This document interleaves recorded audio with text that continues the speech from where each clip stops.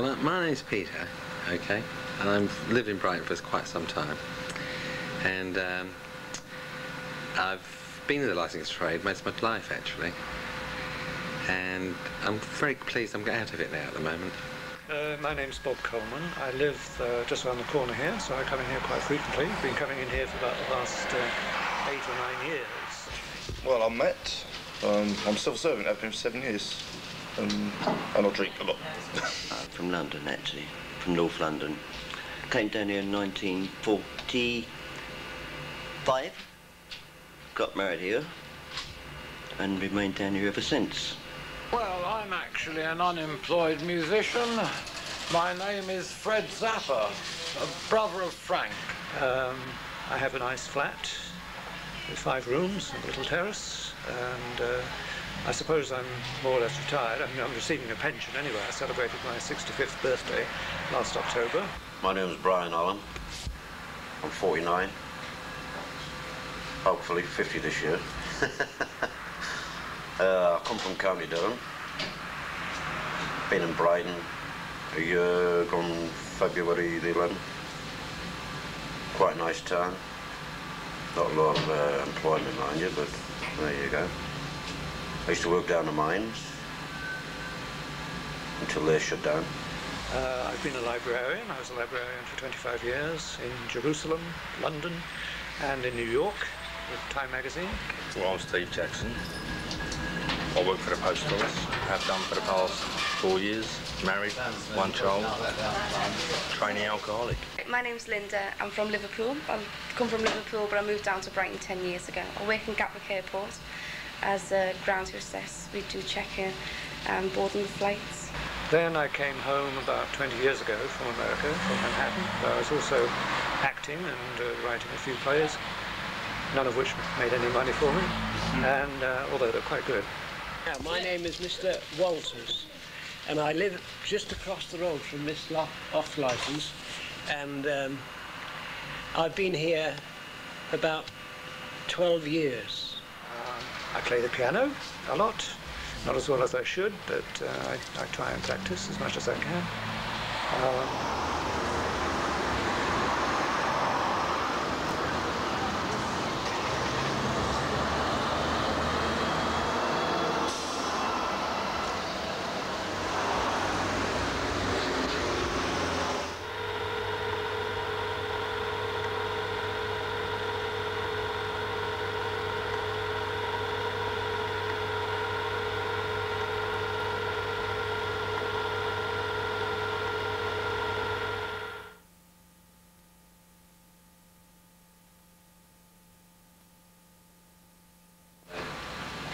About four months. Oh God, about three, three years. Five years? I suppose it's got to be five years. Hmm. Five years. Well, I don't know, five, six years. Got to be that. Oh, uh, six, seven years. or about eight, nine years, I think. Um, well, as long as I've been here.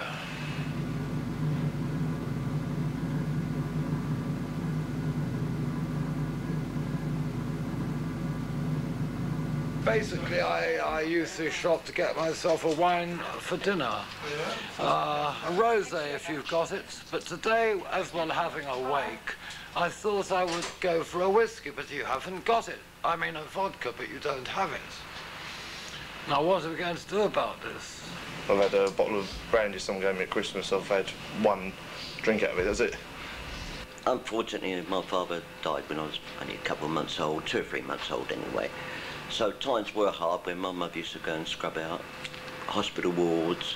And I'm talking about scrubbing out in those days, not like it is at the present moment. And things were hard.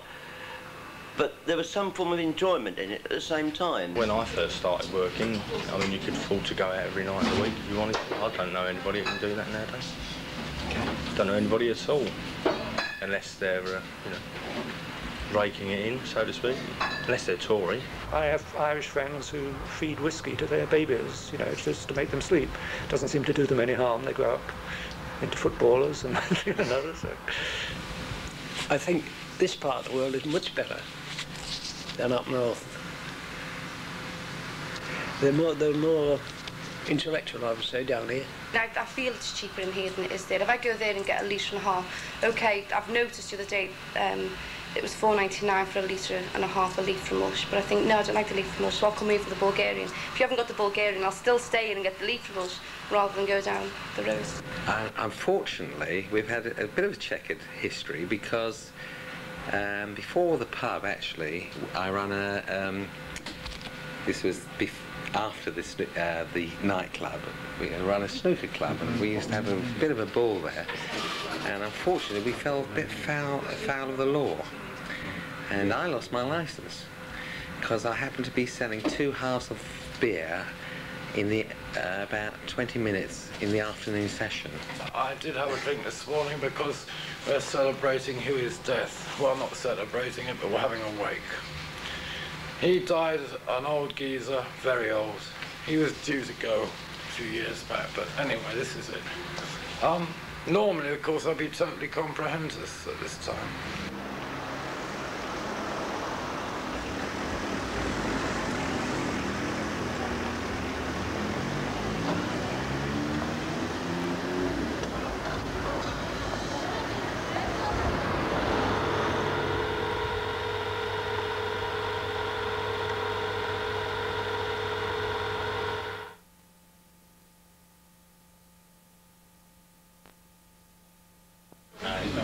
Nearly once a day at least. Two, three times a week, I suppose. Oh, at least once a week. Me? I'm the most regular customer here. God, about every day. Um, as much as possible.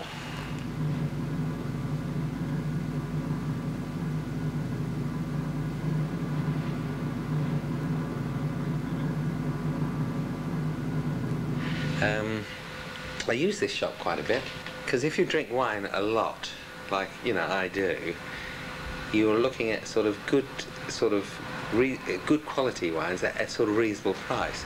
I know a lot of people in this area, but a lot of them seem to be go- dying off. There's about 30 odd people have passed away within this last six months. One's died, one got run over. Unfortunately, that's another very good re- reason why I'm quite pleased at the moment. I'm a bit out of the trade because in the trade you do drink much, much too much.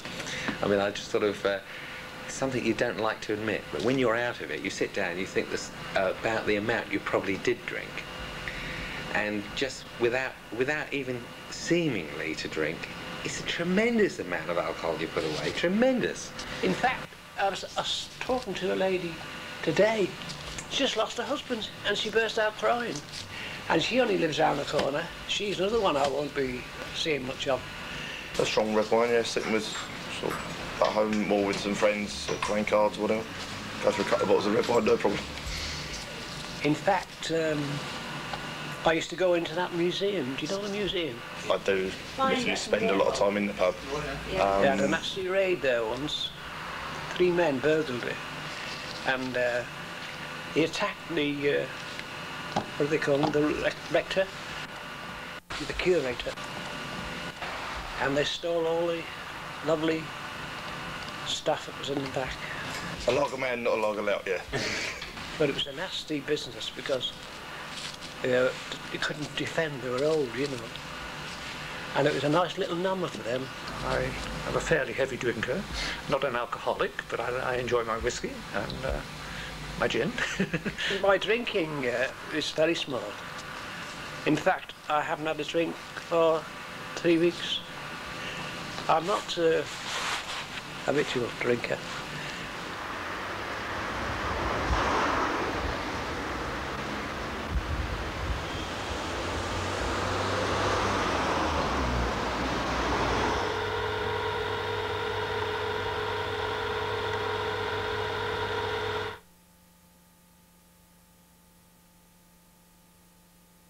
Round about mid-morning. Just about now. What time of day is it? It's about 2.30, yes. Sometimes in the morning to see the young lady, you know, sometimes in the afternoon and also during the evening. Evenings.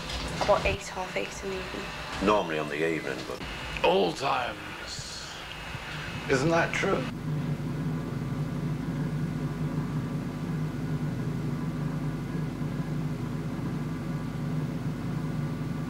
I don't particularly want to go out at two o'clock in the morning to have a drink because I'm usually in bed by that time, but I want to be able to if I want to. I think this business of the last call, gentlemen, you know, time, gentlemen, please, although it made a nice refrain for T.S. Eliot in his poem, uh, The Wasteland, it's, uh, it's pretty absurd. I suppose if you're going to drive, then obviously you shouldn't drink. But then, let's face it, most people do, don't they? Well, I mean, you take in Scotland when they change the laws up there. Alcohol actually went down. Not what was people expected. It actually went down because they could get it when they wanted. They weren't restricted to any particular time, you see. I've been a very lucky person in my life because I've been in uh, the license trade all my life, and I do drink. And at the time of when I go home, I often drive home as well, and I've been breathalyzed on numerous occasions, and never, I've never been summoned yet. If you know the right places to go, you can legally drink 24 hours a day anyway. In fact, once I was arrested, almost beaten up, I couldn't believe it, put into a cell, and when my blood count was taken, and I had it done myself, I was um, 0.003, 0.003 or something, which meant I had no alcohol in me t- at all. Well, it's all very nice. Open all day, but how many pubs are open all day? Funny thing is, if they caught me on another night, they might have been lucky. Licensing laws, well, I don't think could make a vast difference here, personally. But when you've had a few drinks, I think you're actually driving better because you, you you are really now. Uh, hang on, I've had a few drinks. I'm really conscious of what I'm doing. I'm looking around at everything. So um, accidents are going to happen anyway. Accidents are going to happen. Unfortunately, sometimes it happens when somebody's drunk. Sometimes it happens. Accidents happening all the time when people haven't had a drink in them.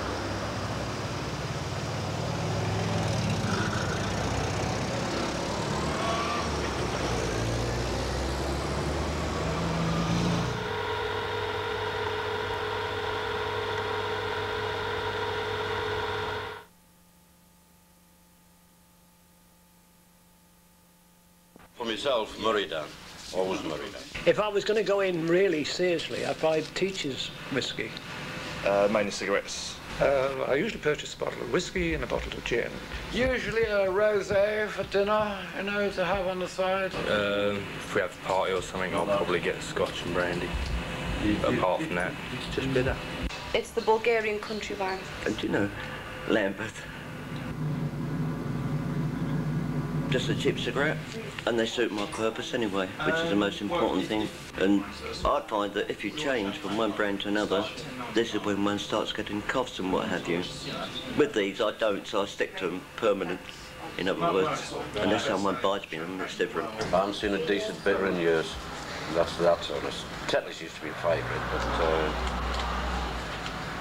you don't see a lot of that nowadays. And not down here, down there. I don't like bitter beer. I find bitter beer, English beer is really the dregs. if I Yeah. could use the word, yeah, I think it's terrible stuff and the rest of it. Especially the real ale and all these things, you know, the people that pride themselves on real ale and that kind of stuff. I think it's pathetic myself. If you can't work, you can't earn enough to exist. So you live on baked beans and potatoes all the time. I suppose theoretically, booze, although we think it's very expensive, is in actual fact quite cheap. I mean, how can an unemployed person afford to pay, you know, de- buy decent grub? He's got to go for the, the cheapest there is knocking about. I mean, I've actually lost two stone in weight in the last year. Now you go around the shops here now, there's a, it's incredible the amount of fruit that's coming in from all over the world and uh, the variety of meats and the variety of packaged foods and this kind of thing, some of which are very good. There's one good thing, the council's paying me rent, which is fair dues, like, but they'll only pay for a certain amount of time anyway. And once again, I'm, then I'm going to have to fork it out my, uh, my down money. And how I'm going to do that, I don't know. She's talking about 79 quid. My rent's 68 a week. You know, because we've got a bad reputation for being the DSS. Um, somebody's got to do the job. Um, I suppose the, the unemployed could think about it that if we weren't there, they wouldn't get anything at all. When was the last time I went out for a, a cinema and a meal? Can't afford it for years. No, they really conned us, Tories. They really blew it for us. If you've got someone like a drunk or a druggie or something like that, don't aggravate them. Um, try and keep calm, don't shout at them, and hope they'll calm down and go away.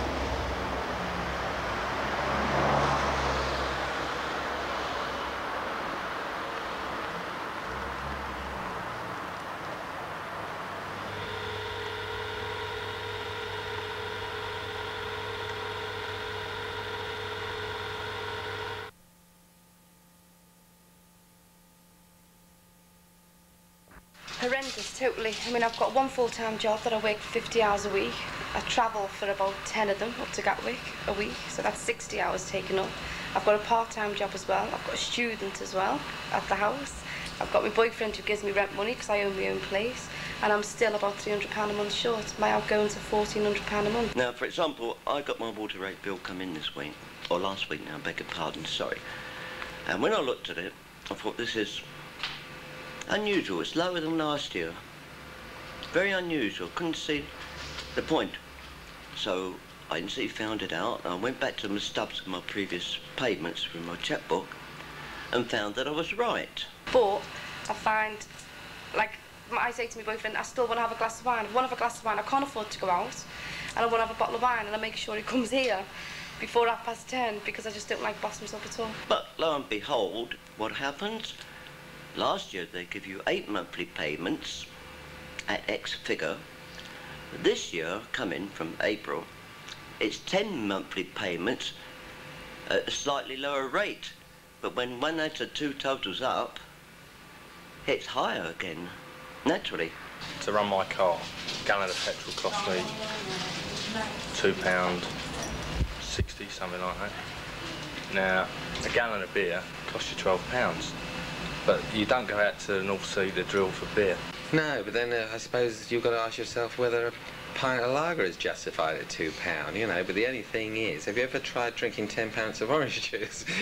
you know, I suppose in a way, um, ten pints of beer or ten pints of lager you can drink. Um, ten pints of orange juice would be terrible. You make you very ill. And you can get further on a gallon of petrol than you can a gallon of beer. A gallon of beer, you get about 30 yards, I think. You may be the, just the person picking up the phone. Uh, nothing to do with you, but the person whose case it is isn't there. You get a load of abuse. You can only say if something's gone wrong, apologise and say, I'll try and get it sorted out. We've got nothing going in this country. Look how many are unemployed every day. You mean to tell me that this is going to stop just like that? And half the time, it's not a, a fault of the workers there. It might be the law saying you've got too much money coming in, so you can't get income support, that sort of thing. The south used to be always pretty well off, but now it's turning the other way around. Now it's all the industry's going up north now. That's where I'm thinking about moving back to. Well, I might as well.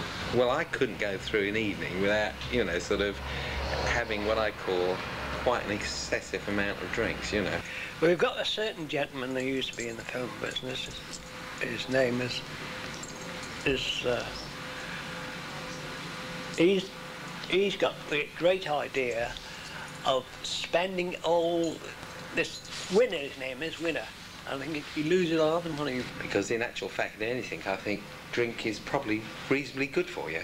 Not, not if you are taking it like a, you know, like a drug. He's got good ideas, but he loses a lot of money because he goes into the wrong subject. You know, he's make, making films about which don't appeal to the uh, ordinary man in the street.